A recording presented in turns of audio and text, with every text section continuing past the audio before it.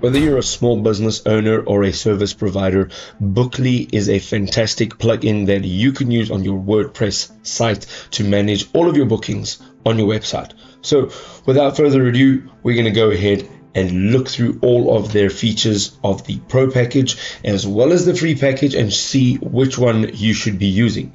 Alright, so let's jump straight into some of the features that are offered by the Bookly Pro package.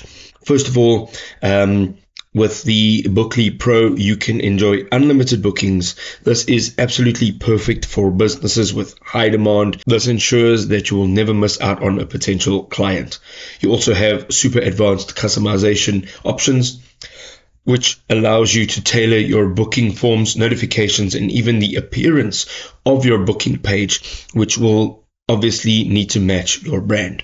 There are also some additional add-ons.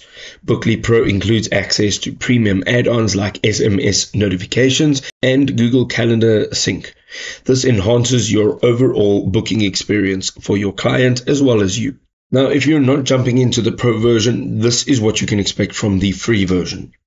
It offers basic booking functionality that allows users to set up appointments without any costs.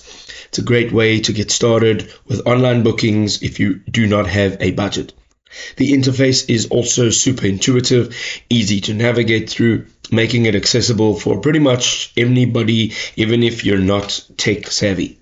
You get essential email notifications for both you and your clients, ensuring everyone stays informed about appointments. Now, jumping into some of the drawbacks, um, really it's a little bit complex if you're having a look at some of the advanced features. Um, Bookly Pro does come with a fair amount of complexity. If you are a new user, if you're new to this type of environment, you might find it a little bit overwhelming at first to navigate through all of the options.